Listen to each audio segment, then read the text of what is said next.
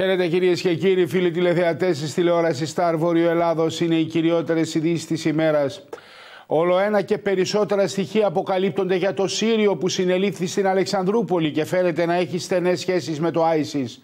Σύμφωνα με τις νεότερες πληροφορίες, η ελληνική αστυνομία ήξερε για αυτόν εδώ και 7 μήνες και τον είχε υπό την παρακολούθησή της προκειμένου να βεβαιωθεί για την δράση του και να τον συλλάβει.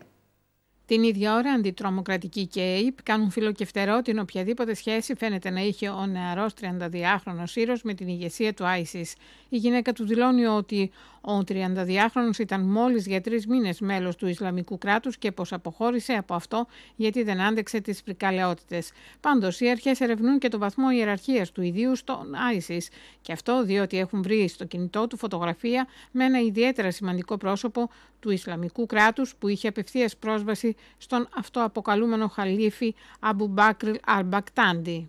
Τη Δευτέρα, 23 Οκτωβρίου, θα απολογηθεί τελικά στην ανακρίτρια της Αλεξανδρούπολης ο 32χρονος Σύριος που συνελήφθη στην πρωτεύουσα του Εύρου και κατηγορείται για συμμετοχή στην τρομοκρατική οργάνωση ISIS. Αυτό ανακοίνωσε η δικηγόρος του, κυρία Τριανταφυλιά Τσιούλπα, η οποία τον εκπροσωπεί κατόπιν δικής του επιθυμίας και παρά το γεγονός ότι αρχικά είχε διοριστεί δικηγόρος για την υπόθεσή του από τον Δικηγορικό Σύλλογο της Αλεξανδρούπολης. Ο 32χρονος Σύριος συνελήφθη έξω από την υπηρεσία ασύλου της Αλεξανδρούπολης την 5η 19 Οκτωβρίου από την αστυνομία και κατόπιν αξιοποίησης πληροφοριών που τον εμπλέκουν στον ISIS, όμως με δράση εκτός ελληνικών συνόρων. Σύμφωνα με τις πληροφορίες, στο κινητό του τηλέφωνο βρέθηκαν βίντεο και φωτογραφίες από την οργάνωση Ισλαμικό κράτος, ενώ αμέσως μετά τη σύλληψή του αποπειράθηκε να αυτοκτονήσει και οδηγήθηκε στο νοσοκομείο. Ο συλληφτής μεταφέρθηκε στην ανακρίτρια της Αλεξανδρούπολης χθες το πρωί, 20 Οκτωβρίου, όπου όμως αρνήθηκε τις κατηγορίες που το αποδίδονται, ενώ η συνέχεια θα δοθεί τη Δευτέρα. Στην τσιμπίδα του Υπουργείου Οικονομικών θα πέσουν όσοι ιδιοκτήτες ακινήτων μεταβίβασαν τμήματα της ακίνητης περιουσίας τους προκειμένου να μετριάσουν την επιβάρυνση από τον έμφυα και τον συμπληρωματικό φόρο με το νέο φόρο μεγάλης ακίνητης περιουσίας. Σύμφωνα με τον σχεδιασμό, ο φόρος μεγάλης ακίνητης περιουσίας θα υπολογίζεται επί του συνόλου της οικογενειακής ακίνητης περιουσίας, σύζυγη και ανήλικη τέκνα, ενώ οικογενειακό θα είναι και το αφορολόγητο όριο το οποίο θα προσαυξάνεται ανάλογα με τον αριθμό των παιδιών.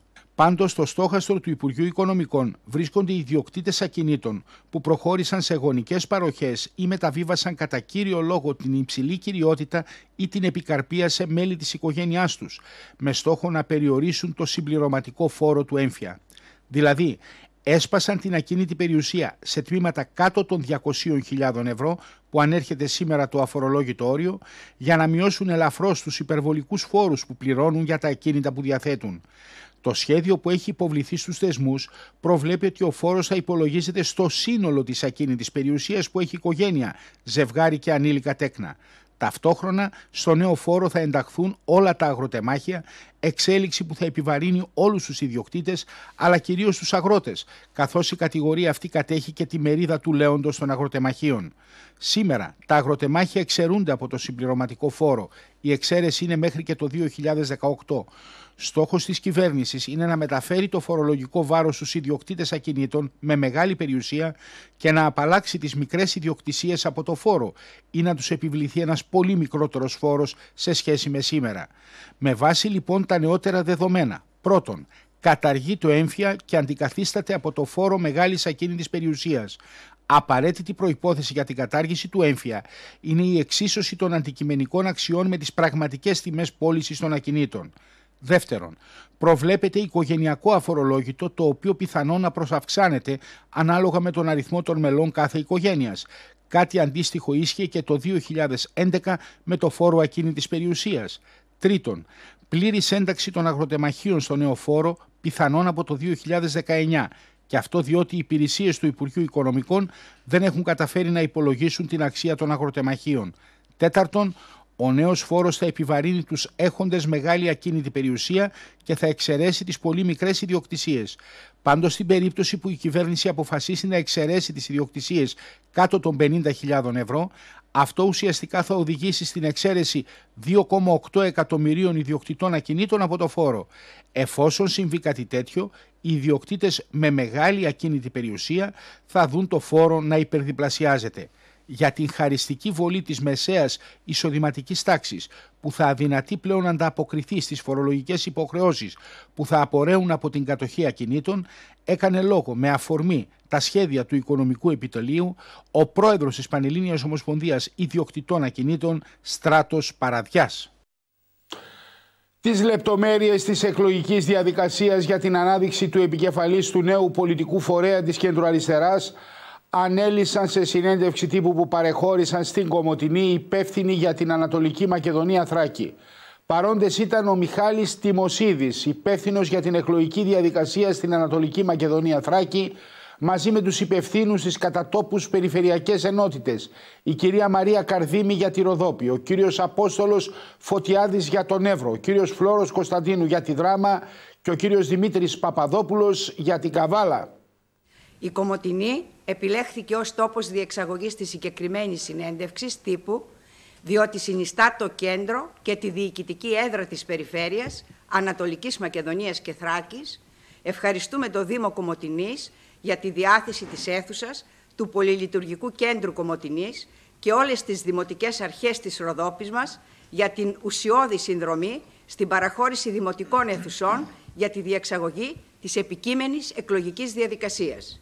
Η παρουσία σας μας τιμά και συνιστά εγγύηση για τη δημοσιότητα της εκλογικής διαδικασίας που θα αποτελέσει την απαρχή της ανασύστασης του πολύπαθου χώρου της, της αριστεράς. Να γνωστοποιήσουμε, να καλέσουμε τον κόσμο να έρθει να συμμετέχει σε αυτή τη διαδικασία η οποία ξεκινάει στην πρώτη Κυριακή έχουν επιλεγεί δύο ημερομηνίες 12 Νοεμβρίου ημέρα Κυριακή από η ώρα 8 το πρωί έως τις 7 το βράδυ θα γίνει η διαδικασία.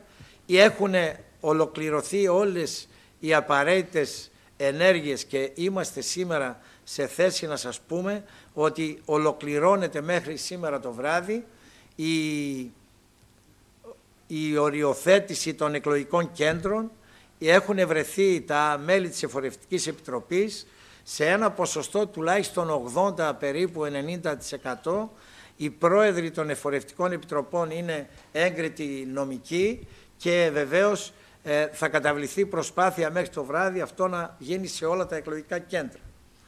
Υπάρχει η διαδικασία της εκλογής η οποία θα απαιτεί ένα μικρό τίμημα από κάθε ενδιαφερόμενο συμπολίτη μας που θα συμμετάσχει στην εκλογική διαδικασία και το βράδυ θα βγουν τα αποτελέσματα πάρα πολύ γρήγορα γιατί υπάρχει η δέσμευση σε κάθε εκλογικό κέντρο όπου διενεργείται ψηφοφορία, διασύνδεση με ηλεκτρονικό τρόπο, ε, online σύνδεση να το πω με, την, ε, με τα αγγλικά που συνηθίζει και ο Πρωθυπουργός τώρα τελευταία, πολύ συχνά, ε, θα υπάρχει η πιστοποίηση ότι δεν θα υπάρχει διπλο, διπλοψηφία έτσι να...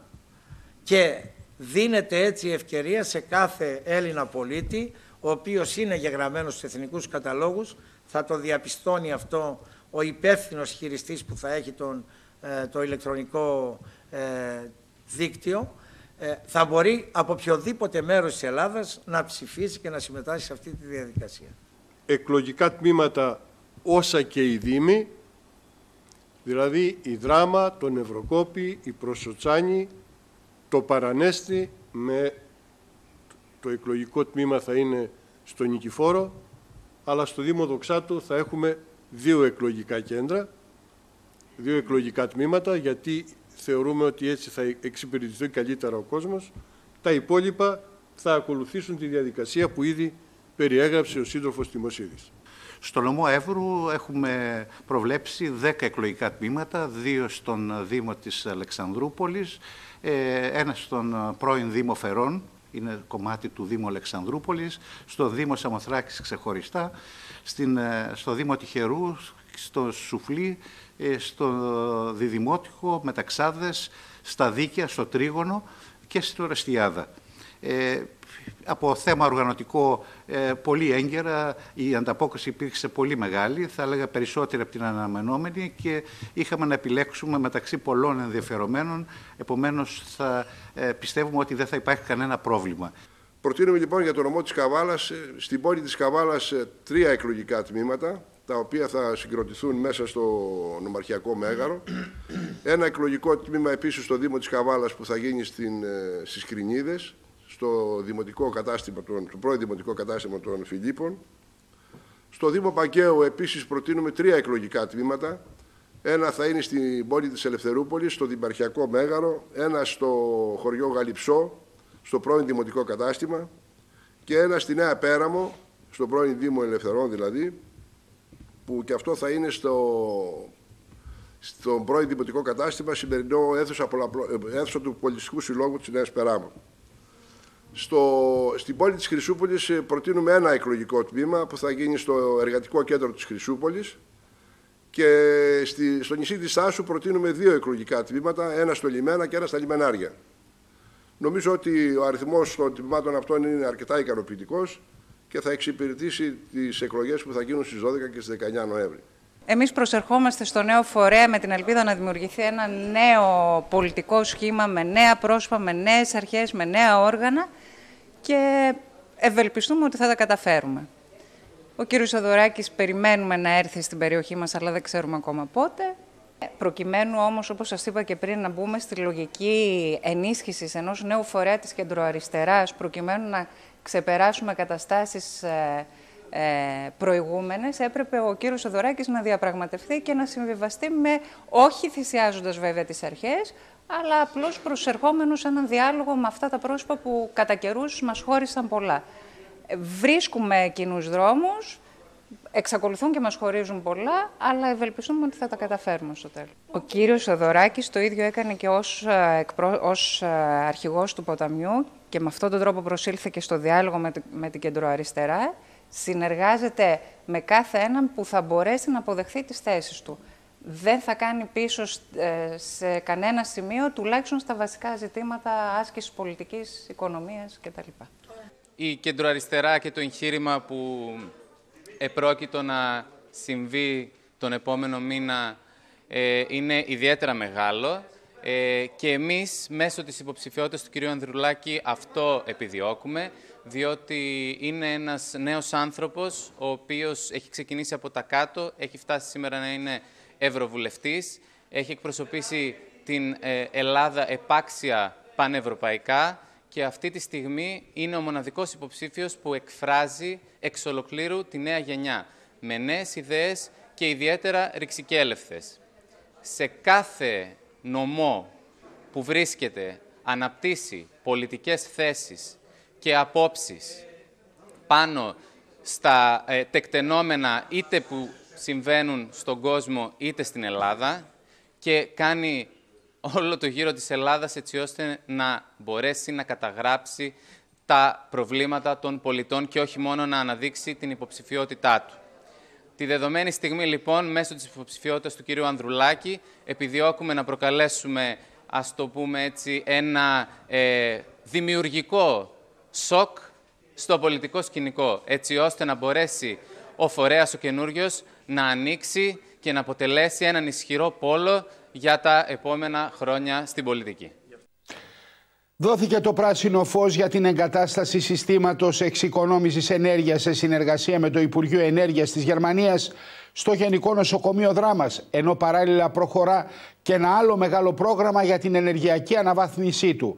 Λεπτομέρειες στο ρεπορτάζ με τις δηλώσεις του Διοικητή του Νοσοκομείου Δράμας, Νίκου Λιατσί.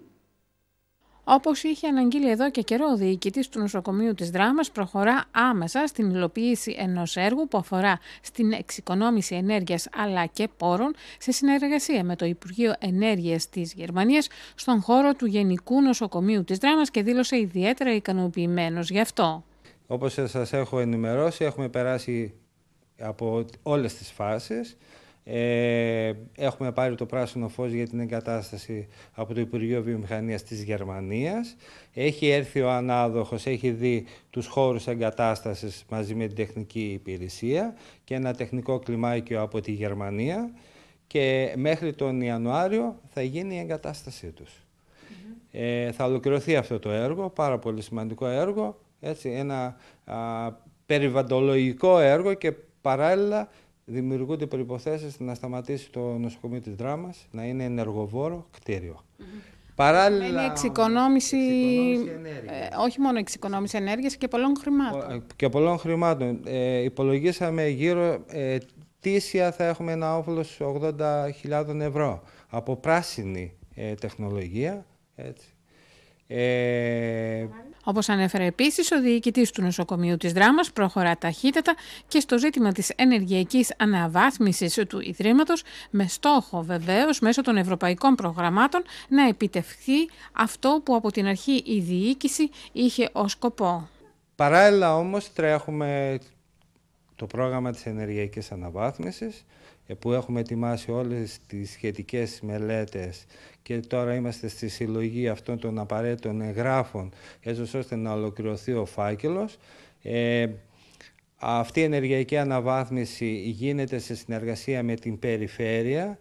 Ε, ο κύριος Περιφερειάρχης είναι πολύ θετικός για αυτή την ενεργειακή αναβάθμιση του νοσοκομείου και ετοιμαζόμαστε για να παρουσιάσουμε στον κύριο Περιφερειάρχη και σε τοπικούς φορείς ε, την, ε, τη μελέτη και την παρουσίαση για το πώς θα είναι το νοσοκομείο ε, μετά την ολοκλήρωσή του.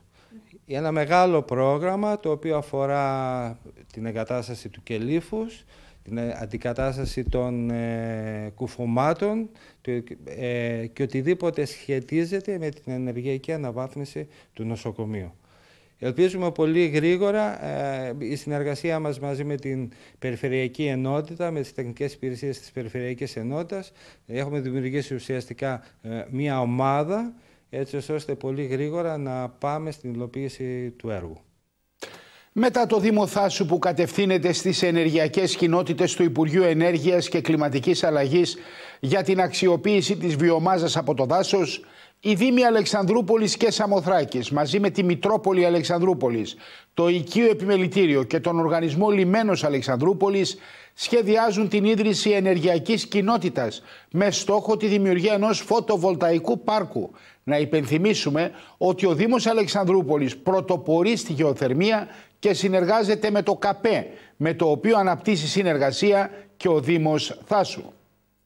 Αλήθεια είναι, είμαστε ένας Δήμος πρωτοποριακός και αυτό στο θέμα της ενέργειας και αυτό το έχει αναγνωρίσει και το Υπουργείο, το αρμόδιο αλλά και το ΚΑΠΕ και ε, πραγματικά εισπράττουμε όλα τα ωφέλη που έχουν να κάνουν ε, με, την, με τις εναλλακτικές μορφές ενέργειας οι οποίες θα αντικαταστήσουν απολύτως το πετρέλαιο και θα δημιουργήσουν ένα αποτύπωμα διαφορετικό στο περιβάλλον. Το τελευταίο μας επίτευγμα ήταν το γεγονός ότι εγκρίθηκε η χρηματοδότηση 6,2 εκατομμύρια ευρώ για την δημιουργία ενός δικτύου το οποίο δίκτυο θα έχει μέσα το ζεστό νερό των 90 βαθμών της χαμηλής ενθαλπίας στη Δημοτική Ενδοϊαννούπολης όπου θα μπορούν στο δίκτυο αυτό να συνδεθούν βιοτεχνίες, μικρά εργοστάσια, θερμοκήπια, ιδιώτες δηλαδή, οι οποίοι θα πάρουν το εθνικό ρευστό από το Δήμο έναντι ενός ευτελούς τιμήματος με αποτέλεσμα να αντικαταστήσουν το πετρέλαιο και να έχουν μία μείωση δαπάνης κατά 80% που σημαίνει ότι τα προϊόντα που θα παράγουν θα είναι ανταγωνιστικά. Ε, βέβαια αυτό που έχουμε κάνει στην ενέργεια είναι πάρα πολλά. Οι μελέτες μας ακουμπάνε αυτή τη στιγμή ε, πάνω από 60 εκατομμύρια ευρώ συνολικό ποσό και διεκδικούμε χρηματοδοτήσει οι οποίες συνεχώς βγαίνουν και έχουν σε προγράμματα και μέτρα τα οποία ανοίγουν και εμείς είμαστε έτοιμοι πρώτη κάθε φορά να προχωρήσουμε όπως τώρα και πρώτη κάναμε χθε στη Σαμοθράκη στο κοινό Δημοτικό Συμβούλιο λόγω βέβαια και των καταστροφών εκεί στη Σαμοθράκη όπως και ο Μικροπολιτικός Δήμος mm-hmm. εμείς επεμβαίνουμε και βοηθάμε. Στο κοινό λοιπόν Διαδημοτικό Συμβούλιο χθε ψηφίστηκε η δημιουργία της ενεργειακής κοινότητας με μέλη το Δήμο Αλεξανδρούπολη, το Δήμο Σαμοθράκη, την Ιερά Μητρόπολη Αλεξανδρούπολη, στο Ελληνοπόλη και Σαμοθράκη, το Επιμελητήριο Εύρου και τον Οργανισμό Λιμένο Αλεξανδρούπολη. Είναι μια κοινοπραξία στην ουσία η οποία εν ώψη τη ψηφή του καινούργιου νομοσχεδίου που θα αφορά τις δημοτικές αυτές, ε, τις, ε, τις ε, ενεργειακές αυτές κοινότητες, θα μπορούμε να συμμετέχουμε στην δημιουργία όλοι μαζί μελετών προκειμένου να εισπράξουμε τα ωφέλη τα οποία θα υπάρξουν μέσα στο καινούριο, στο καινούριο νόμο, ο οποίος θα μετατρέψει το νομοσχέδιο και έτσι θα μπορούμε να δημιουργήσουμε εναλλακτικές μορφές ενέργειας, να χρησιμοποιήσουμε ο καθένας αυτό που έχει και σε συνδυασμό να λειτουργήσουμε δυναμικά. Δηλαδή... Νομίζω ότι είναι εποχή της ενέργειας και ναι. αν δεν καταλάβουν οι Δήμοι, οι περιφέρειες, ότι υπάρχουν πολλά χρήματα στο θέμα της ενέργειας, της πράσινης ε, ενέργειας ιδιαίτερα, που έχει μέσα βέβαια γεωθερμία και όλα τα λοιπά, τότε νομίζω ότι τα χρήματα τα οποία θα εισπράττουμε από μορφές οι οποίες είναι πάγιες και οτόμες θα είναι και είναι κρίμα. Σωστά. Ε, προσανατολίζεστε στη δημιουργία ενός φωτοβολταϊκού πάρκου ανάμεσα στα άλλα; Κοιτάξτε, ακόμα είναι νωρίς να, να σας πω τι ο καθένας από αυτούς τους εταίρους έχει να παρουσιάσει, αλλά αυτό που ξέρω εγώ είναι ότι η Αλεξανδρούπολη ε, μέσα στα πλαίσια τα χωρικά της Δημοτικής Ενότητας της ε, Τραγιανούπολης, αλλά και η Σαφράκη έχει τεράστια γεωθνικά πεδία και βέβαια το γεγονός ηλεκτροπαραγωγής, παραγωγής λοιπόν ηλεκτρικής ενέργειας με την δυναμική της εκμεταλλεύσεως όχι μόνο της χαμηλής εδαρπίας μέχρι 90 βαθμούς και 500 μέτρα, αλλά της μέσης και υψηλής εθαρπίας, η οποία θα μου δώσει τη δυνατότητα να, παράξουμε ηλεκτρικό ρεύμα. Καταλαβαίνετε τι σημαίνει αυτό.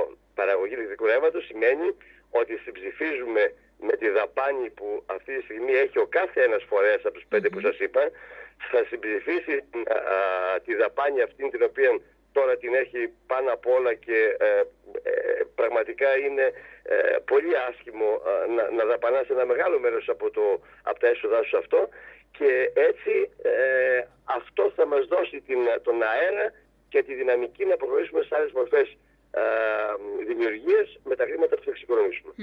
Αυτό σημαίνει ότι σιγά σιγά θα ενταχθούν και οι υπόλοιποι δήμοι, γιατί είστε και πρόεδρος της α, Περιφερειακής Ένωσης των Δήμων σε αντίστοιχα προγράμματα. Το έχετε συζητήσει και σε επίπεδο πέδα αυτό; Βεβαίως και τη Δευτέρα στις 2 η ώρα που έχουμε τη γενική μας συνέλευση στην Κομωτινή θα υπάρχει θέμα δημιουργίας ενεργειακών κοινοτήτων προκειμένου να το αντιληφθούν όλοι και γρήγορα γρήγορα πριν ακόμα ψηφιστεί ε, το νομοσχέδιο και γίνει νόμος να είμαστε έτοιμοι με την ε, ψήφισή του να προχωρήσουμε γενικά και να εισπράξουμε πρώτα ωφέλη.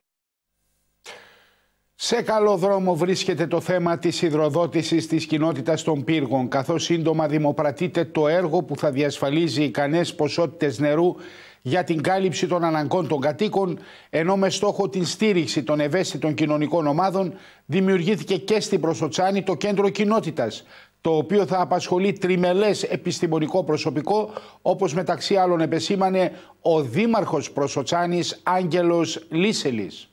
Ιδρύσαμε και στην Προσοτσάνη το κέντρο κοινότητας, Πρόκειται για μια πρωτοβουλία της κυβέρνησης η οποία προσπαθεί να ιδρύσει, ιδρύει σε όλους τους δήμους της, ε, της χώρας κέντρα κοινότητας που στην ουσία θα αποτελούν την πρώτη πύλη επαφής των ανθρώπων με δυσκολίες γιατί περνάμε μια περίοδο που η κοινωνία μας δοκιμάζεται. Κατά συνέπεια υπάρχουν ευπαθέστερες ομάδες πληθυσμού οι οποίες και θέλουν στήριξη περισσότερη από την οργανωμένη πολιτεία. Το κέντρο κοινότητας λοιπόν προς ο Τζάνης προσέλαβε τρεις ε, επιστήμονες του του χώρου της κοινωνικής πολιτικής, οι οποίοι και θα δώσουν μέσα στα πλαίσια των αρμοδιοτήτων τους οτιδήποτε δυνατόν για την ανακούφιση των ανθρώπων που, είναι, που αποτελούν μέλη των ευπαθών κοινωνικών ομάδων στο Δήμο Προσοτσάνης. Αυτό γίνεται σε συνεργασία και με το Βοήθεια στο Σπίτι με το πρόγραμμα και όλων των φορέων που εξετάζουν από κοινού ίσως και στο δικό σας Δήμο τέτοιες και ανάλογες περιπτώσεις. Κατά κάποιο τρόπο ναι. Ε, το κέντρο κοινότητας αποτελεί μια ομπρέλα για όλες αυτές τις κοινωνικές δραστηριότητες των Δήμων και όπως σας είπα είναι η πρώτη επαφή των ευπαθών ομάδων στην επαφή τους με το Δήμο. Σε ό,τι έχεις σχέση το δεύτερο σας ερώτημα για τους πύργους, είμαστε στην ευχάριστη θέση να πούμε ότι προχθές, 17 Οκτωβρίου, δημοπρατήθηκε το έργο των πύργων, ίδρυυση των πύργων. Ε, ανέλαβε ανάδοχος, ε, βγήκε ανάδοχος, ο οποίος με ένα αρκετά υψηλό ποσοστό έκπτωσης πήρε το έργο. Ε, πρόκειται για μια εταιρεία που είναι γνωστή εδώ στη δράμα και ευελπιστούμε ότι πολύ σύντομα θα υλοποιηθεί το έργο και άπαξ διαπαντός θα λύσουμε το σοβαρότατο αυτό πρόβλημα των πύργων. Πλήρως εξοπλισμένο, κυρίες και κύριοι, είναι το Εσπερινό Λύκειο Δράμα, καθώς με δωρεές δραμηνών επιχειρήσεων και ιδιωτών κάλυψε σημαντικές του ανάγκες, όπως χαρακτηριστικά τόνισε ο νέος διευθυντής του, Τάσος Τσιπουκέλης. Ναι, εγώ βρίσκομαι περίπου τρεις μήνες στη διεύθυνση του Εσπερινού Λυκείου Δράμα. Νομίζω ότι ξεκινήσαμε πάρα πολύ καλά και δυναμικά. Το χαρακτηριστικό είναι ότι έχει αυξηθεί ο αριθμός του μαθητικού δυναμικού κατά 30% περίπου. Έχουμε αυτή τη στιγμή 43 μαθητές. Δεν είμαι βέβαια ευχαριστημένος με αυτόν τον αριθμό, αλλά πιστεύω ότι σιγά σιγά και τα επόμενα χρόνια ο αριθμός αυτός θα αυξηθεί και ε, πιστεύω ότι το σχολείο αυτό πρέπει να έχει μια δυναμική 80 με 100 μαθητές. Από εκεί και πέρα θα ήθελα να ευχαριστήσω πάρα πολύ διάφορους χορηγούς τόσο της δράμας όσο και εκτός δράμας που ενίσχυσαν με διάφορα υλικά του σχολείου μας. Συγκεκριμένα, μαρμαροβιομηχανία της Ράμας αποκατέστησε σπασμένα σκαλοπάτια, τα οποία βέβαια εξυπηρετούν και μαθητές του Δευτέρου Γυμνασίου ε, και ήταν πάρα πολύ επικίνδυνα στην κατάσταση που βρισκόταν. Από εκεί και πέρα, ε, διάφοροι επιχειρηματίες μας έχουν χορηγήσει ε, ηλεκτρονικούς υπολογιστές. Συγκεκριμένα έχουμε πάρει δύο λάπτοπ με ένα βιντεοπροβολέα και μία μεγάλη οθόνη που είναι και τηλεόραση. Μία κάποιος επιχειρηματίας από Αθήνα μας έχει δώσει έναν ηλεκτρονικό υπολογιστή και αυτή τη στιγμή το σχολείο μας είναι πλήρως εξοπλισμένο στα υλικά που μας ε, έλειπαν. Επίσης, άλλος επιχειρηματίας μας έχει χορηγήσει πολύ μεγάλη ποσότητα γραφικής ύλης, την οποία τόσο ανάγκη έχει το σχολείο σε αυτές τις δύσκολες ε, εποχές που διανύουμε. Φαντάζομαι ότι αυτά τα παραδείγματα α, σημαίνουν ότι υπάρχει μεγάλο ενδιαφέρον και στήριξη ακόμη, τουλάχιστον στις δύσκολες μέρες αυτές και φαντάζομαι ότι θέλετε να γίνουν και άλλοι μιμητές αυτών των τουλάχιστον εκδηλώσεων συμπαράστασης. Αυτές οι κινήσεις είναι πάρα πολύ σημαντικές από τους ανθρώπους οι οποίοι μας βοηθάνε. Ε, μας ευκολύνουν πάρα πολύ το έργο μας, βοηθάνε ώστε η ποιότητα της εκπαίδευσης που παρέχουμε να είναι ακόμα καλύτερη εγώ αυτό που έχω καταλάβει είναι ότι υπάρχουν πάρα πολλοί οι οποίοι θέλουν να προσφέρουν. Απλά ίσως και να μην ξέρουν τον τρόπο. Πρέπει οι διευθυντές των σχολείων να αφήσουν τα γραφεία τους, να βγουν στην πόλη, να βρουν χορηγούς, να κάνουν ό,τι μπορούν καλύτερο για το σχολείο τους. Εγώ τουλάχιστον αυτό κάνω και βλέπω ότι υπάρχουν πολύ καλά αποτελέσματα. Είναι το δελτίο ειδήσεων της ημέρας από το Star Βορείο Ελλάδος. Διαφημίσεις και επιστρέφουμε.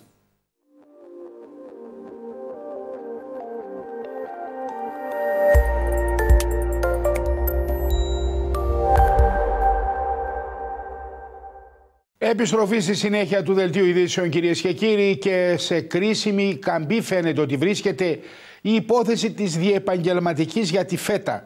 Το γεγονός αυτό επισημαίνουν και οι κτηνοτρόφοι υποστηρίζοντας ότι πρέπει να μπουν στην άκρη οι όποιες διαφορές και να προχωρήσει η δημιουργία της καθώς τα ωφέλη για την προστασία της φέτας και των Ελλήνων παραγωγών πρέπει να είναι ο κοινός στόχος όλων. Σε κρίσιμη καμπή φαίνεται ότι είναι η υπόθεση της διεπαγγελματικής για την ελληνική φέτα, καθώς φαίνεται ότι οι έρηδες μεταξύ της ΣΕΚ και της ΠΕΚ αλλά και κάποιων άλλων φορέων παρεμποδίζουν το έργο να ολοκληρωθεί με αποτέλεσμα όλο αυτό να έχει αρνητικά για την εξέλιξη της ελληνικής κτηνοτροφίας όπως επισημαίνουν χαρακτηριστικά και εκπρόσωποι των κτηνοτρόφων. Είναι ένα κέραιο ε, σημείο διότι εμείς ε, παρευρεθήκαμε στην διεπαγγελματική της ΦΕΤΑΣ που έγινε στο Υπουργείο ε, πριν ένα χρόνο και ήταν εκπρόσωποι των Πανελλήνες Ένωσης Κτηνοτρόφων και του Συνδέσμου Ελλήνων Κτηνοτρόφων και εκπρόσωποι των γαλακτοδιομηχανιών. Έγινε μια συζήτηση με την, εποπτεία, την καλή εποπτεία του Υπουργείου και του κ. Αποστόλου. Ε, Δυστυχώς εκεί αντιληφθήκαμε ότι υπάρχουν μάλλον τρομερά συμφέροντα για το ποιος θα ελέγξει την διεπαγγελματική της ΦΕΤΑ και φάνηκε από ένα πολύ απλό, θα σας πω, παράδειγμα. Η ΠΕΚ έλεγε ότι η διεπαγγελματική της φέτας θα λέγεται έτσι ακριβώς, ενώ η ΣΕΚ ζητούσε τη διεπαγγελματική της φέτας από εγωπρόβιο γάλα.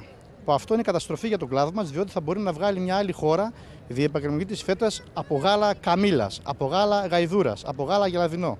Πολύ καλά έκαναν οι γαλακτοβιομήχανοι και επιμέναν μαζί με την ΜΠΕΚ για αυτή την κατάσταση και φυσικά και τα τσούγκρισαν με την ΣΕΚ, η οποία ε, ελέγχει την, την ε, επαγγελματική του κρέατος που δεν έχουν κάνει τίποτα απολύτως παρά μόνο τώρα θα κάνουν κάτι εκπομπές μαγειρικής για να προωθήσουν το εγωπρόβιο κρέας και αφήνουν στην ουσία τα κονδύλια και τα καταναλώνουν ενώ πρέπει να πάνε και να εποπτεύουν το κρέας που έρχεται και ελληνοποιείται παράνομα και δεν έχουμε καλές τιμές εμείς την περίοδο του Πάσχα. Άρα ο ΣΕΚ στην ουσία μας έχει αποδείξει ότι δεν μπορεί να διαχειριστεί την διεπαγγελματική και στο κρέας, αλλά πόσο περισσότερο και στο γάλα. Εμείς θα στηρίξουμε την προσπάθεια των γαλακτοβιομηχάνων. Γνωρίζουμε από πρώτο χέρι μας έχουν πει ότι πάνε σε ευρωπαϊκές εκθέσεις να πουλήσουν χονδρική τη φέτα και βρίσκουν βουλγάρικη και σκοπιανή φέτα και από άλλες χώρες παράνομα στον πάγκο και κάνουν εμπόριο με μεγάλες εταιρείες και πωλήσεις. Η δικιά μας φέτα είναι μια αλφας ποιότητας και έχει ένα κόστος. Οι άλλες είναι μηδαμινές και έχουν χαμηλό κόστος και μας κλέβουν και την επωνυμία στην ουσία και το είδος. Άρα συντασσόμαστε με την διεπαγγελματική της ε, φέτας, αλλά πρέπει το Υπουργείο να καταλάβει ότι η περιφέρεια Ανατολικής Μακεδονίας και Θράκης δεν είναι για να κάνει φασαρίες και μόνο αντίλογο. Έχει και προτάσεις και δυστυχώς τι προτάσεις που κάναμε στο Υπουργείο, ο κ. Υπουργός προφανώς φοβήθηκε και γι' αυτό δεν μας ξανακάλεσε να συζητήσουμε για την διεπαγγελματική στο γάλα. Ε, περιμένουμε τις εξελίξεις, αλλά είναι πολύ δυσάρεστες προς το παρόν. Αγορές παραγωγών με το γράμμα του νόμου κομίζει αρχής γενομένης από την 1η Ιανουαρίου του 2018 η ψήφιση του σχεδίου του Υπουργείου Αγροτικής Ανάπτυξης την 5η 12 Οκτωβρίου στην Ελληνική Βουλή για τη διακίνηση των οπών προϊόντων. Θετικό βρίσκουν το όλο γεγονός η παραγωγή της αγροτικής αγοράς δράμας. Με το ίδιο πλαίσιο και νόμο πλέον του κράτους γίνεται ταυτόχρονα σαφής διαχωρισμός των εν λόγω αγορών σε συμβατικές και βιολογικές γεωργίες, έτοιμα άλλωστε πάγιο των Ελλήνων βιοπαραγωγών. Στις αγορές παραγωγών βιολογικών προϊόντων θα έχουν τη δυνατότητα να συμμετέχουν αποκλειστικά παραγωγή αγροτικών προϊόντων αλλά και συνεταιρισμοί. Ε, για τις δικές μας αγορές στην αγορά παραγωγών, αυτό που θα αλλάξει πλέον σε εμάς είναι ότι θα μπουν μέσα και συνεταιρισμοί ε, η προσωπική μου άποψη είναι ότι καλώς γίνεται αυτό που γίνεται. Ε, θα υπάρχει και ένας ελεγκτικός μηχανισμός ο οποίος θα είναι πενταμελής. Θα αποτελείται από δύο μέλη της αγοράς παραγωγών, ένας των ε, καταναλωτών, από το Δήμο θα υπάρχει ένα μέλος ε, και θα μπορεί να γίνεται ένας σωστός έλεγχος για να λειτουργεί προς όφελος του πελάτη πάντα μιλάμε, ότι αυτά τα προϊόντα είναι παραγόμενα από τον παραγωγό και όχι αγορασμένα ή κάτι άλλο. Ε, για, το βιολογικό, για τις βιολογικές αγορές, το κομμάτι αυτό, πάλι καλώς έγινε αυτό που έγινε, γιατί υπήρχε μια βιολογική αγορά στη Θεσσαλονίκη που λειτουργούσε, αλλά είχαν κάποια θέματα με τον νόμο. Τώρα έτσι όπως έγινε, νομιμοποιηθήκανε και θα λειτουργήσουν, πιστεύω, πάρα πολύ καλά και αυτοί, όπως και εμείς από την πλευρά του, ο πρόεδρος των παραγωγών της αγροτικής αγοράς Δράμας βρίσκει θετικό το όλο γεγονός, καθώς υποστηρίζει ότι πολλά πράγματα θα αλλάξουν προς το καλύτερο βάσει του νέου νόμου. Άρα λοιπόν λέτε ότι είναι για την πιο εύρυθμη λειτουργία των αγροτικών ή των υπαίθριων λαϊκών αγορών ε, και αυτό μάλλον είναι προς το σωστό δρόμο, στη σωστή κατεύθυνση. Θεωρώ πως ναι. Θεωρώ πως ναι, ε, γιατί θα μπορούμε και εμείς να πουλάμε είτε βιολογικά είτε συμβατικά προϊόντα κατευθείαν στο πελάτη χωρίς μεσάζοντες. Είναι πλεονέκτημα για τον πελάτη γιατί θα τα πάρει σε καλύτερη τιμή και φρέσκο προϊόν. Ε, θεωρώ ότι είναι σε πολύ σωστό δρόμο. Είτε στο βιολογικό είτε στο συμβατικό. Από την άλλη, ποιοι θα μπορούν να συμμετέχουν, μέχρι τώρα τουλάχιστον, μέχρι πριν από λίγο καιρό, μπορούσαν να συμμετέχουν και παραγωγή από άλλες περιοχές ή όμορους νομούς. Αυτό θα συνεχίσει να ισχύει; Νομίζω ότι πάλι θα είναι για από τους όμορους νομούς. Ε, είναι για, ε, στις μεγάλες ε, πόλεις όπως Θεσσαλονίκη και Αθήνα ε, πηγαίνουν όλοι. Εκεί μπορούν να πάνε από όλη την Ελλάδα. Εδώ είναι νομίζω πάλι από τους όμορους νομούς. Δεν το λέω με σιγουριά, θα πρέπει να διαβάσουμε ακριβώς τον νόμο τι λέει. Είναι καινούριος νόμος τώρα βγήκε. Ε, νομίζω ότι είμαστε, μπορούν να συμμετέχουν συνεταιρισμοί, ε, ομάδες παραγωγών, αυτό είναι καλό, ανοίγει η ψαλίδα. Προς όφελος του καταναλωτή πάντα. Πάντως, εσείς λέτε ότι έχει καθιερωθεί στη συνείδηση για των δραμηνών η αγροτική αγορά. Ναι, ναι, το βλέπουμε κάθε, κάθε Σαββάτο εδώ πέρα. Ο κόσμος μας προτιμάει, έρχεται, ψωνίζει. Ε, νομίζω ότι είναι ευχαριστημένος. Θέλω να πιστεύω ότι είναι ευχαριστημένος. Το βλέπω από την κάθε τόσο ανεβαίνει το πελατολόγιο μας. Και εμείς προσπαθούμε από την πλευρά μας να κάνουμε το ό,τι καλύτερο μπορούμε από θέμα ποιότητας και τιμής. Παραμένουμε στα αγροτικά. Ξεχασμένες καλλιέργειες κάνουν την επανεμφάνισή τους και κερδίζουν έδαφος στις καλλιεργητικές προτιμήσεις των παραγωγών του νομού Δράμας λόγω του κόστους. Την εμφάνισή τους στην αγροτική αγορά της Δράμας έκαναν μετά από πολύ καιρό και άλλοι ξηρικαρποί όπως χαρακτηριστικά τα αμύγδαλα που είναι παραγωγής της περιοχής της τοπικής κοινότητας του Μαυροβάτου πολλοί από τους αγρότες παραγωγούς βλέποντας τα διέξοδα με τις μεγάλες ανοιχτές καλλιέργειες το υψηλότατο κόστος παραγωγής αλλά επιπλέον και το γεγονός ότι έχουν αλλάξει πολλά ως προς την φορολόγησή τους και τα ασφαλιστικά τους δικαιώματα επέλεξαν τις δενδρώδεις καλλιέργειες και την καλλιέργεια της αμυγδαλιάς ανάμεσα στα άλλα η οποία πριν από αρκετά χρόνια ανθούσε μάλιστα στην περιοχή. Ο λόγος προφανής όπως ανάμεσα στα άλλα λέει παραγωγός Μαυροβάτου. Ε, γιατί θεωρώ ότι οι επιδοτήσεις θα κάνουν όλα αυτά. Βγήκαν πιο εύκολα χρήματα είναι μέσω με, τις, με τα φυτά μεγάλης καλλιέργειας. Αλλά τώρα με την κρίση ο κόσμος αρχίζει και γυρίζει πάλι πίσω. Γι' αυτό και εγώ προτίμησα να βάλω αμύγδαλα. Είναι εύκολη η καλλιέργεια. Ε, εύκολη, εντάξει. Τίποτα δεν είναι εύκολο. Θέλει, θέλει δουλειά, θέλει χρόνο. Αλλά από εκεί πέρα θεωρώ ότι είναι μια καλή παραγωγή ακόμα σήμερα που την έχω εγώ δηλαδή. Γιατί δεν υπάρχουν στην περιοχή πλέον δέντρα. Γι' αυτό.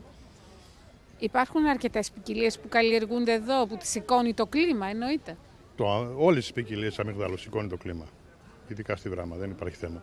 Επειδή πολλοί κόσμος ζητάει να είναι αρκετά αφράτα τα αμύγδαλα, γιατί σπάζουν πιο εύκολα και είναι και πιο εύκολα στη χρήση. Γι' αυτό.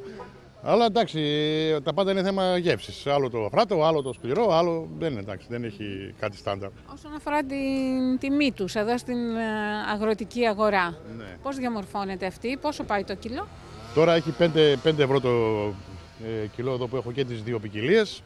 Η τιμή θεωρώ ότι είναι καλή και για μένα και για τον ε, πελάτη. Η συγκομιδή ξεκινάει πολύ νωρίτερα γιατί έχει και μια διαδικασία. Η συγκομιδή ξεκινάει αρχές Αυγούστου μέχρι τέλη, εκεί γύρω περίπου είναι. Και μετά τι ακολουθεί; Μετά ακολουθεί το ξέραμα, στα σακιά. Ναι, και ε, βεβαίως βγάζετε τον εξωτερικό φλοιό, έτσι Ναι, είναι; σε τρία μέρη. Είναι το εξωκάρπιο που είναι το πράσινο, το μεσοκάρπιο που είναι το κέλυφος και η ψύχα που είναι μέσα. Ε, βγαίνει το εξωκάρπιο και μένει το κέλυφος, διατηρείται και χρόνια έτσι όπως είναι.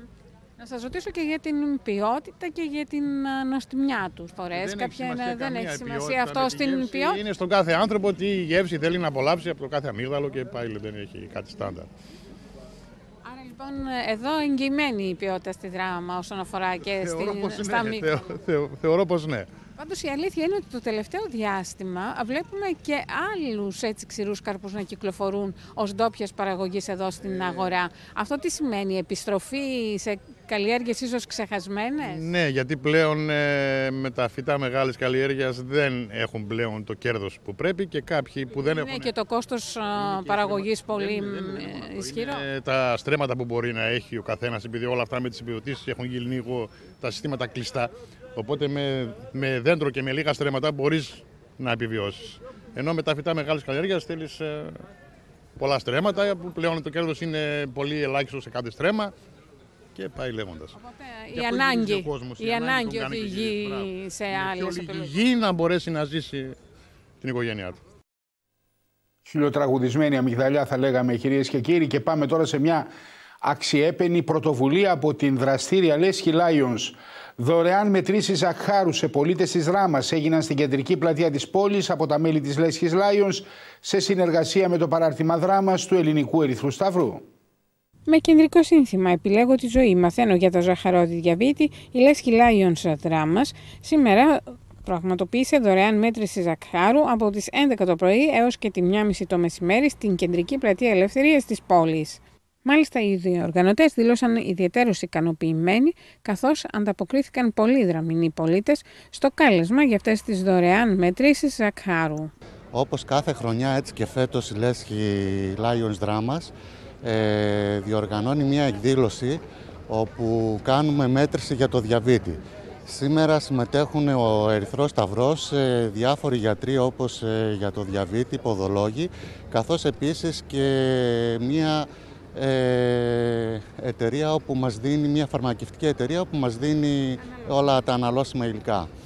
Ε, θέλουμε να ευχαριστήσουμε όλο τον ε, κόσμο όπου ανταποκρίθηκε στο κάλεσμα και έχει έρθει για να κάνει τη μέτρηση του διαβήτη γιατί αυτή η ασθένεια είναι μια πολύ υπουλή ασθένεια που δυστυχώς ε, υπάρχει πολλοί κόσμος που δεν γνωρίζει ότι έχει διαβήτη και οι συνέπειές του είναι πολύ μεγάλες. Στην όλη προσπάθεια συμπαραστάτης ήταν το παράρτημα του Ελληνικού Ερυθρού Σταυρού στη Δράμα που ανταποκρίθηκε για άλλη μια φορά έτσι ώστε να γίνουν με τον καλύτερο δυνατό τρόπο οι μετρήσεις ζαχάρους στους δραμινούς πολίτες. Ναι, μας ζήτησαν να συμμετέχουμε σε αυτή την εκδήλωση που διοργανώνει η Λέσχη Lions Δράμας και κάνει μετρήσεις ζαχάρου, δωρεάν μετρήσεις ζαχάρου, μια και ο διαβήτης είναι η μάστιγα της εποχής μας και είναι και κρυφή. Οπότε στο κάλεσμα αυτό συμμετέχουμε και εμείς όπως πάντοτε όποτε μας ζητηθεί με τα κορίτσια που είναι πλέον όντως έμπειρες γιατί και με το Σύλλογο Διαβητικών συνεργαζόμαστε πολλές φορές. Πάμε τώρα στην Κομωτινή για μια εξίσου εξαιρετική πρωτοβουλία αν και σχεδόν άδειο το γήπεδο του ΔΑΚ χθες στην Κομωτινή, τα χρήματα όμως συγκεντρώθηκαν στο φιλικό ποδοσφαιρικό αγώνα φιλανθρωπικού χαρακτήρα για τον 7χρονο Χρήστο Γεώργιο, ο οποίος αντιμετωπίζει σοβαρό πρόβλημα υγείας και χρήζει πολυδάπανης θεραπείας. Ο αγώνας μεταξύ θελεχών της Νόδε Ροδόπη και της ΟΝΕΔ και της ομάδας του Πανθρακικού που νίκησε τελικά με το ευρύ 8-1.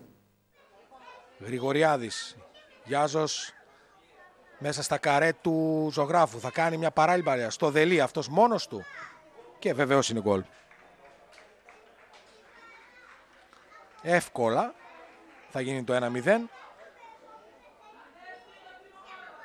Ο Δελής είναι ο σκόρερ. Παθραγικός και πάλι στην ε, αντεπίθεση και έξω από τα καρέ του ζωγράφου. Γρηγοριάδης θα κάνει το σουτ. Πολύ ωραίο δυνατό σουτ η μπάλα στα δίχτυα. Και τώρα η ομάδα του Πανθρακού με τον Γρηγοριάδη να δίνει δίπλα στον ε, ε, Αλεξόπουλο. Μέσα ο Τζελέπης θα κάνει το σουτ και η μπάλα θα καταλήξει στα δίχτυα. Ό,τι και να πούμε είναι λίγο. Το θέμα είναι να μην υπάρχουν τέτοιες καταστάσεις, αλλά αφού υπάρχουν, εμείς θα είμαστε πάντα αργός σε τέτοια θέματα και θα προσφέρουμε και προσφέρουμε και για αυτή την περίπτωση, ειδικά ό,τι μπορούμε. Αρκεί να μας το ζητήσουν και να το ξέρουμε.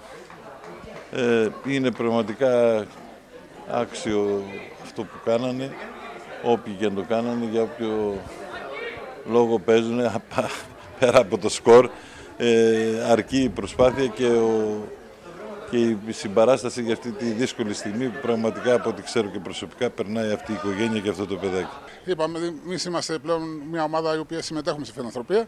Είναι δεύτερο δεύτερος αγώνας που κάνουμε φιλανθρωπικό. Είχαμε ξαναπέξει με τους προσκυνητές ένα φιλικό τον Ιούνιο, πάλι για τον ίδιο σκοπό για να βοηθήσουμε ε, το παιδί ενός ε, συμπολίτη μας, το οποίο έχει κάποιο πρόβλημα και είμαστε διατεθειμένοι, ναι, του Γιώργου Χρήστου και, θα, και είμαστε διατεθειμένοι να κάνουμε οτιδήποτε άλλο χρειαστεί για την πόλη μας. Ήταν μια σκέψη μαζί με τον πρόεδρο της Συνόδου, τον κύριο Γιάννη Βεζιριανίδη και τον πρόεδρο του Πανθραϊκού, τον κύριο Μανώλη Σακαλή. Θέλαμε να βοηθήσουμε ένα συμπολίτη μας, ένα 7χρονο παιδάκι, το οποίο έχει προβλήματα υγείας. Δεν μπορούσαμε να μείνουμε αμέτωχοι και σε συνεργασία με τους προ αυτούς που ανέφερα πριν. Θέλαμε να βοηθήσουμε με τις μικρές μας δυνάμεις και έτσι αποφασίσαμε αυτό το φιλικό μάτς.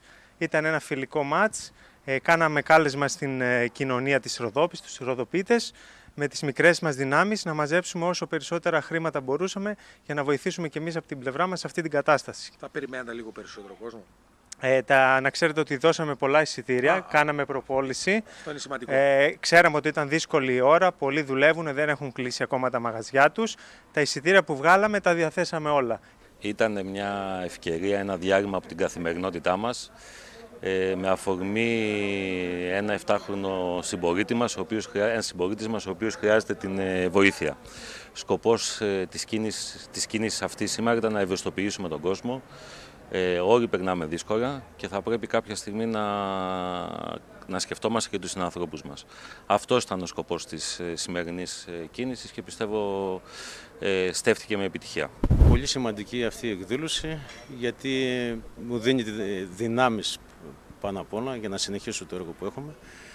Και να, θα ήθελα να ευχαριστήσω επί ευκαιρία τις ε, ομάδες του, της Νότιον Ομοροδόπης και του Πανθρακικού που συμβάλλαν τα μέγιστα σε αυτή την εκδήλωση, όπως και όλους τους φορείς, τα, τον ε, έντυπο και ηλεκτρονικό τύπο και όλους τους συμπολίτες που ήταν εδώ ή ε, παρευρεθήκαν ε, χωρίς την, την παρουσία τους. Πάμε τώρα κυρίες και κύριοι στην ενότητα του Σαββάτου, εκπαιδευτικά νέα. Έχουμε τη χαρά να είναι εδώ μαζί μας ο πρόεδρος των εκπαιδευτικών φροντιστηρίων μέσης εκπαίδευσης νομού δράμας, ο Χρήστος Χαρακόπουλος. Να το χαιρετήσουμε. Καλησπέρα Θανάση, καλησπέρα φίλοι τηλεθεατές. Αρκετά τα νέα τα οποία τρέχουν αυτό το διάστημα και ξεκινάμε από το γυμνάσιο με την ενισχυτική διδασκαλία, Χριστό. Αυτό ακριβώς δημοσιεύτηκε λοιπόν έτσι, στο ΦΕΚ ε, η απόφαση για την έναρξη λοιπόν των μαθημάτων ενισχυτικής διδασκαλίας ε, στο γυμνάσιο. Τα μαθήματα θα ξεκινήσουν ε, το Νοέμβριο. αφορά μαθητές και μαθήτριες των γυμνασίων που πληρούν τα βαθμολογικά κριτήρια για την επιλογή λοιπόν και συμμετοχή στα μαθήματα της νεοελληνικής γλώσσας και γραμματείας, στι αρχέ ελληνικής γλώσσας, στα μαθηματικά, στη φυσική, στη χημεία και στα αγγλικά. Έτσι λοιπόν ξεκινάει η ενισχυτική διδασκαλία από τον Νοέμβριο στα γυμνάσια. Αυτό είναι κάτι θετικό για τους μαθητές. Φυσικά είναι, έτσι, είναι μαθήματα τα οποία μπορούν να κάνουν τα παιδιά μετά το, ε, το απόγευμα, δηλαδή εφόσον τελειώσουν τα μαθήματά τους και φυσικά να βοηθηθούν α, ε, για τα μαθήματα που θα έχουν στο Σημαντικός θεσμός και αποτελεσματικός, θα λέγαμε. Ναι. Και φυσικά βοηθάει και στο Χρόνια, βέβαια, πρόβλημα ανεργίας των καθηγητών. Ναι, ναι. Ε, και φυσικά είναι κάτι το οποίο δεν πρέπει να διακοπεί γιατί υπάρχουν πάρα πολλά παιδιά τα οποία έχουν ανάγκη ε, από στήριξη. Είναι γεγονός ότι το θέλουν να παραμείνει. Δεν ξέρω αν τα μνημόνια απαιτούν και αυτά. Νομίζω ότι όσα μνημόνια και να έχουμε και τα λοιπά στον χώρο της ε, υγείας και της παιδείας θα πρέπει να υπάρξει λοιπόν βοήθεια. Έτσι, αυτό είναι γεγονός. Οπότε όσο μπορεί νομίζω ότι βοηθάει και το κράτος προς την κατεύθυνση. Έχουμε αυτή. μείωση ωρών στη Δευτέρα Λυκειού. Ναι. Η αλήθεια είναι ότι έχουμε μια μείωση ωρών. Έχουμε λοιπόν την ενοποίηση της χημεία ε, και της ε, βιολογίας, περιορισμός των ωρών της φυσικής. Ε, οι μαθητές θα μπορούν λοιπόν να επιλέγουν νέα μαθήματα και μάλιστα αυτό είναι και ένα θετικό πέρα από το αρνητικό της μείωσης των ωρών, να έχουν και τη δυνατότητα παρακολούθησης μαθημάτων από το επαγγελματικό λύκειο. Δηλαδή, κάποιος που είναι μαθητής του Γενικού Λυκείου μπορεί να επιλέγει και ένα μάθημα από το επαγγελματικό λύκειο και να το παρακολουθεί. Αυτό λοιπόν προβλέπει το σχέδιο του Ινστιτούτου Εκπαιδευτικής Πολιτικής για τη Β' Λυκείου ε, το οποίο φυσικά προκάλεσε όμως αντιδράσεις από τους ε, καθηγητές και μάλιστα από τις ειδικότητες των χημικών, φυσικών και βιολόγων. Οπότε καταλαβαίνεις, ε, Θανάση, τι πρόβλημα θα δημιουργηθεί. Ενδεχομένως κάποιος ε, χημικός που θα πρέπει να διδάξει βιολογία σίγουρα δεν είναι το αντικείμενό του. Ε, είναι, είναι τα άσχημα της οικονομικής κρίσης που βλέπουμε δηλαδή συγχωνεύσεις, μειώσεις ορών και σίγουρα πολλές φορές οι εκπαιδευτικοί θα αναγκαστούν να μπουν να το πούμε απλά έτσι και στα παιδεία, στα επιστημονικά παιδεία άλλων συναδέλφων, για να καλύψουν λοιπόν τις ώρες και τα διδακτικά αντικείμενα. Μιλάμε για περικοπές φυσικά Αυτό και ακριβώς. έχουμε περικοπές, το έχουμε ακούσει και από τον αναπληρωτή, τον Υφυπουργό, τον κύριο Ζουράρη, ε, στα σχολεία της Γερμανίας και του εξωτερικού Αυτό. γενικότερα. Κάποτε φυσικά πρέπει να πούμε, Χρήστο, γινόταν ένα τεράστιο πάρτι ναι. ε, με, τα, με τις δαπάνες για αυτά τα σχολεία. Κάθε ναι. πόλη και χωριό από ένα σχολείο. Αυτό ακριβώς και στο εσωτερικό και στο εξωτερικό. Και φυσικά να πούμε και για κάποια κριτήρια. Έτσι, το πώς βγήκαν κάποιοι εκπαιδευτικοί στο εξωτερικό και παίρνουν διπλούς μισθούς. Ε, από το ένα άκρο λοιπόν φτάσαμε στο άλλο άκρο πλέον.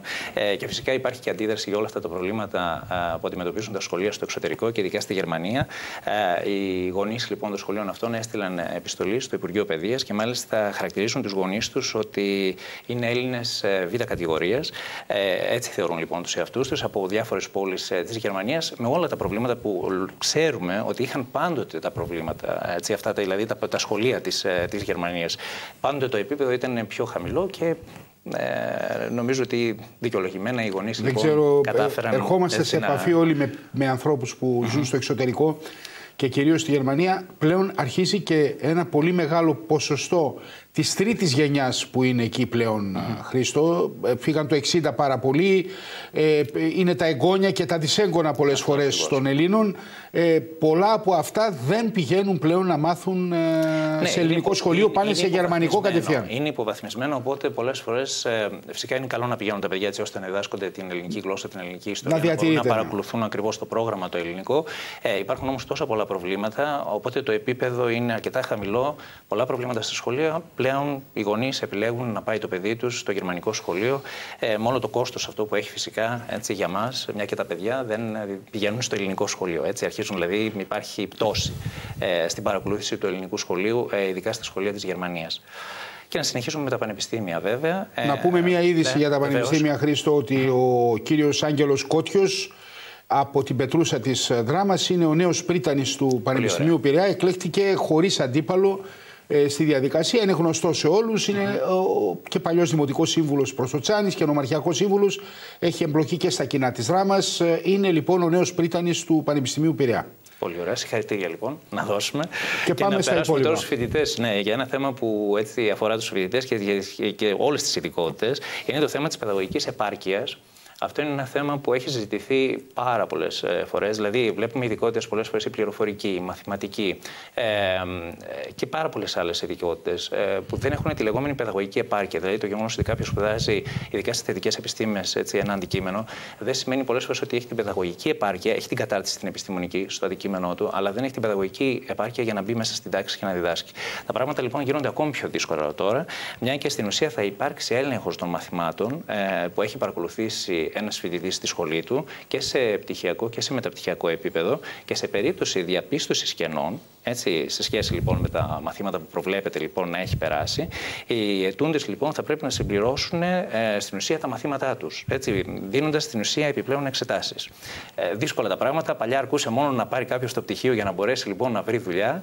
Πλέον ε, χρειάζεται να κάνει μεταπτυχιακά. Βλέπουμε τι, πόσο έχει προχωρήσει. Έτσι, Και να έχει και παιδαγωγική δύσκολο. επάρκεια. Αυτό ακριβώς και εφόσον έχει ολοκληρώσει και αυτές τις σπουδέ, μετά, αν σου λείπει και παιδαγωγική επάρκεια και θέλεις να μπεις στην τάξη, ό,τι και αν θα μπεις στην τάξη, θα πρέπει λοιπόν έτσι να δώσεις επιπλέον μαθήματα για να πάρεις και το πιστοποιητικό της παιδαγωγικής της παιδαγωγικής επάρκειας για να μπορέσεις να διδάξεις ε, μέσα στην τάξη. Έτσι, δύσκολα τα πράγματα. Έχουμε περιορισμό των δικαιούχων για το φοιτητικό επίδομα. Αυτό ακριβώς. Ε, λοιπόν, το Υπουργείο λοιπόν, Παιδείας περιορίζει τους δικαιούχους του στεγαστικού επιδόματος, προχωρώντας λοιπόν σε αναδρομική εφαρμογή ε, των νέων όρων για τους δικαιούχους του 2016-2017.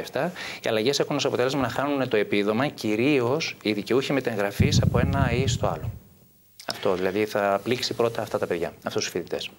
Το στεγαστικό επίδομα. Μάλιστα. Αυτοί δηλαδή που ε, είναι σε κάποιο πανεπιστήμιο και ε, Έχουν παίρνουν... πάρει τη μεταγραφή έτσι, για να πάνε λοιπόν σε κάποια. Έχουν πάρει πλέον τη μεταγραφή. έτσι, Γιατί για να θεωρείτε ότι αφήσουν. για- το κάναν τη μεταγραφή για ευνοϊκότερους Ε, ναι, όρους. αυτό ότι ακριβώς, έχουν ναι, αδέλφια. Ότι έχεις ή- έρθει πιο κοντά στο σπίτι σου ή ότι ενδεχομένως μένεις μαζί με τον αδερφό σου, αλλά δεν είναι δηλαδή δικαιούσε. Αυτό δηλαδή, δεν το θα ξεκινήσει κατάλαβα πρώτα πάντως με αυτούς. ποτέ. Δεν ξέρω. Δηλαδή, αν κάποιος είναι από την Κατερίνη και πηγαίνει στην, ε, στο Αριστοτέλειο Ναι. και νοικιάζει κάποιο σπίτι, έχει κάποια ευνοϊκότερη μεταχείριση από το αν ήταν, ας πούμε, από τα Γιάννενα ή από την ε, Τρίπολη και Όχι, πήγαινε αν στη είσαι- Θεσσαλονίκη. Ναι, ναι, Ελάχιστα ναι. έξοδα μόνο για τη, μετα... με τη- για τη μεταφορά όταν ε, μετακινείται. Έχουμε ε, μία είδηση ενοποίηση του Ιόνιου Πανεπιστήμιου με το ΤΕΗ. Ναι, ναι. Αυτό ακριβώς. Λοιπόν, έτσι ανακοίνωσε λοιπόν το Υπουργείο ότι πλέον έτσι, το Ιόνιο Πανεπιστήμιο και το ΤΕΗ λοιπόν, έτσι, Ιωνίων Νήσων πλέον ενοποιούνται. Και έτσι, οπότε προχωράει, έχουμε είναι θα λέγαμε ένας Καλλικράτη Χρήστο ακριβώς, Χαρακόπουλε, αυτό ακριβώς. ο οποίος προχωράει πολύ ομαλά. Είναι ο μόνος Καλλικράτη που δεν έχουμε αντιδράσεις, δεν υπάρχουν διαφωνίες. Υπάρχουν αντιδράσεις. Υπάρχουν αντιδράσεις και από τους εκπαιδευτικούς κτλ. Εντάξει, είναι Αλλά ένα πε- γεγονός. προχωράει σχετικά χρη- εύκολα. Νομίζω ότι από ένα διάστημα και μετά δεν μπορεί να γίνει διαφορετικά. Δηλαδή δεν μπορούν να καλυφθούν τα έξοδα ε, ή από το κράτος κτλ. Οπότε από εκεί που είχαμε φτάσει σε σημείο, γιατί να λέμε όχι μόνο τη, την περίπτωση της συρρήκνωσης, να λέμε και την περίπτωση του ότι δημιουργήθηκαν πάρα πολλά τμήματα, τα οποία όμως δεν είχαν και αντικείμενο μελέτης. Σκοπού. Δηλαδή, πολλά, μην ξεχνάμε ότι πάρα πολλά αντικείμενα, μάλλον πάρα πολλά πανεπιστήμια έχουν δημιουργηθεί μόνο και μόνο για να καλυφθούν κάποιες θέσεις από κάποιους στο παρελθόν. Οπότε αναγκαζόμαστε πλέον, λογικά, έτσι, τι να κάνουμε, να υπάρξει μια συρρήκνωση και είναι αυτό που λέμε ότι δυστυχώς Ε, πλέον κοντά στα ξερά τώρα και αγούνται και τα χλωρά. Είναι χαρα- Έτσι και από το ένα άκρο περάσαμε πλέον στο άλλο. Είναι Αυτό χαρακτηριστικό ότι στην Πελοπόννησο είναι γνωστή κόντρα που υπάρχει μεταξύ πύργου Ναι, ναι, αυτό Ηλίας και εντάξει, Αμαλιάδας. Πέρα από- Φτιάξανε και ένα ΤΕΗ στην Αμαλιάδα και ένα στον πύργο. Ναι, είναι- Είχαμε την είναι κόντρα κάτι στο σαν τους Αργοστόλι, λόγους. Αυτό ακριβώς. Ο Αργοστολίου καθένας έπρεπε να Λιξουρίου. γίνει πρόεδρος, ας πούμε, Είχαμε ναι. Αργοστολίου Λιξουρίου και φτιάξαμε στο Λιξούρι το ίδιο σχεδόν τμήμα ΤΕΗ με αυτό που ήταν Ναι. στο Αργοστόλι. Και στο Λιξούρι δεν είχε φοιτητές. Δηλαδή είχε δύο-τρεις φοιτητές και είχε 15 καθηγητές. Είναι αυτά τα τρελά τα Όρια την οποία. άμεση κατανομή των σχολών. Μην ξεχνάμε, ας μιλήσουμε και για την πόλη μας. Αυτή τη στιγμή δεν έχουμε εμείς σχολές και υπάρχουν άλλες πόλεις που έχουν πάρα πολλές σχολές. Είναι πολύ μεγάλη συζήτηση. Άρα λοιπόν από το ένα άκρο πλε- περάσαμε πλέον στο άλλο και βλέπουμε λοιπόν. έτσι, Κάνουμε λοιπόν γίνεται. ενοποίηση ΤΕΗ ΑΕΗ και στα Ιόνια Ναι. νησιά και πάμε και σε κάτι ακόμη. Να κλείσουμε λοιπόν και μια ευχάριστη έτσι, είδηση για τα κέντρα ξένων γλωσσών. Έτσι, 120 λοιπόν κέντρα ξένων γλωσσών ε, από όλη την Ελλάδα και την Κύπρο συμμετέχουν σε μια ωραία δράση βιωματικής εκπαίδευσης. Ονομάζεται Your Thoughts on Greece. Στην οποία λοιπόν συμμετέχουν οι μαθητές ε, και τα παιδιά στην ουσία παίρνουν συνεντεύξεις από τους τουρίστες στα αγγλικά και μετά παρουσιάζουν έτσι το, το project το οποίο κάνουν. Έτσι, ήταν μια πολύ ωραία δράση αυτή που έγινε από όλα τα κέντρα ξένων γλωσσών. Να σε ευχαριστήσουμε Χρήστο, το άλλο Σάββατο τα ξαναλέμε και Ναι, ε, από ένα θέμα κυρίες και κύριοι εκπαιδευτικό πάμε τώρα σε ένα κέντρο επιμόρφωσης. Κέντρο επιμόρφωσης καφέ. Γνωστή εταιρεία καφέ, η Λαβάντζα δημιούργησε στην πόλη της Ράμας ένα χώρο ιδιαίτερο που χθες εγκαινιάστηκε παρουσία πλήθους δραμηνών και εντυπωσίασε. Δραμηνή επιχειρηματίας ανέλαβε να φέρει σε πέρας σε αυτήν την ιδιαίτερος πρωτότυπη ιδέα φέρνοντας έναν άλλον αέρα στο χώρο αυτό επί της οδού Βενιζέλου και εισέπραξε πολλά συγχαρητήρια. Νίκας της ευσεβεύση κατεναντίον δωρούμενος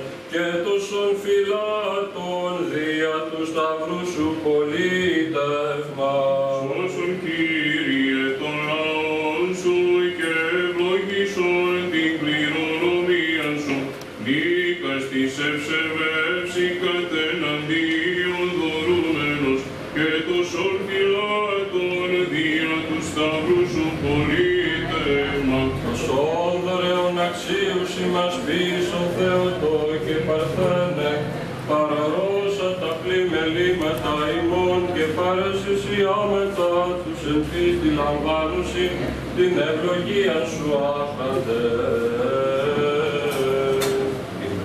Η εταιρεία Μιχαηλίδη κάνοντας ένα άνοιγμα επιχειρηματικό και για να δώσει και βήμα στην διάδοχο Παύλα κόρη τους και να αξιοποιήσει και τις σπουδές της, ε, έγινε αντιπρόσωπος στον ομοδράμα του πασίγνωστου πλέον Λαβάτζα Καφέ και έκανε αυτό το υπέροχο κέντρο επιμόρφωσης για να γίνονται τα πράγματα όπως πρέπει, να έχει ο- το ακριβές άρωμα και την ομορφιά του ο καφές. Είναι ένα θέμα λεπτομέρειας ο καφές. Βεβαίως, βεβαίως. Μα και οι σπουδές της ε, ε, Λιδίας είναι που είναι και το διευθυντικό στέλεχος, είναι ανάλογες. Πραγματικά μια πολύ πρωτότυπη ιδέα ε, που ίσως η πόλη μας να την έχει ανάγκη με τόσες καφετέρειες που υπάρχουν αλλά και οι γειτονικές φυσικά. Ε, η τηλεόραση Star Βορείου Ελλάδος στηρίζει πάντα την ιδιωτική πρωτοβουλία, όλους τους ελεύθερους επαγγελματίες, ε, ειδικά ε, τώρα σε αυτή τη δύσκολη περίοδο που ζούμε, που ξέρουμε ότι είναι ένα εγχείρημα πολύ δύσκολο με την ασταθή φορολογική μεταχείριση των ελεύθερων επαγγελματιών. Ευχόμαστε λοιπόν καλές δουλειές, καλή επιτυχία στο έργο τους και καλή δασκαλία του καφέ. Πράγματι, σήμερα με ιδιαίτερη χαρά βρισκόμαστε στα εγγένεια ενός νέου εγχειρήματος, μιας πολύ καλής φίλης, της κυρίας Λιδίας Μιχαηλίδου, η οποία εισάγει νέα δεδομένα στο χώρο του προ... προώθησης του καφέ. Δεδομένου ότι η Λαβάτσα είναι μια γνωστή ούτως ή άλλως φίρμα καφέ, η οποία αποκτά τη δική της έδρα πλέον εδώ στη δράμα, σε αυτήν την εξαιρετική εγκατάσταση, η οποία ευλογήθηκε σήμερα και από τον Εδεσιμότατο. Και ευχόμαστε καλή επιτυχία όσον αφορά στην προώθηση ενός πολύ ε, νόστιμου καφέ, που ευελπιστούμε ότι θα βρει σύντομα πολλούς ε, και φανατικούς έτσι, θαυμαστές του. Σε κάθε περίπτωση το νέο αυτό επιχειρηματικό εγχείρημα είναι και πρωτότυπο και κάτι ξεχωριστό για την πόλη γιατί δεν έχουμε συνηθίσει σε τέτοια πράγματα και δεν έχουμε να πούμε τίποτα άλλο παρά μόνο καλή επιτυχία με υγεία και τύχη. Ο καφές Λαβάτσα, ένας υπέροχος πραγματικά γευστικότατος καφές, εκπροσωπείται λοιπόν από μια νέα επιχειρηματία, τη Λιδία Μιχαηλίδου. Καλές δουλειές και καλή γευσηγνωσία. Πάμε τώρα κυρίες και κύριοι και στην αθλητική σας ενημέρωση. Ολοκληρώθηκε η πρώτη κατηγορία της Ένωσης Ποδοσφαιρικών Σωματείων Δράμας. Η Ταγρήν Ευρωκόπη 0-4, χωριστή Καλαμπάκη 0-3, Καστρινός Πετρούσα 0-2, Αμπελόκηπη καλή βρύση, εδώ είχαμε νίκη των γηπεδούχων Αμπελοκήπων 1-0. Δοξάτο Άγιος Αθανάσιος Γκραν Κινιόλ 2-3, αλλαγή προπονητή για το Δοξάτο, ήταν ο κύριος Περσιακλής. Καλύφιτος Αλιστράτη 2-2, Προσοτσάνη Φωτολίβος 0-2 και Βόλακας Πανδραμαϊκός 1-2. Είχαμε συνολικά 5 νίκες των φιλοξενουμένων ε, και 6 νίκες των φιλοξενουμένων και μόλις μία νίκη γηπεδούχου σε αυτήν την αγωνιστική. Κυρίες και κύριοι, ολοκληρώθηκε το δελτίο ειδήσεων από το Star Βορείο Ελλάδος. Να είστε καλά, να περνάτε καλά. Γεια σας.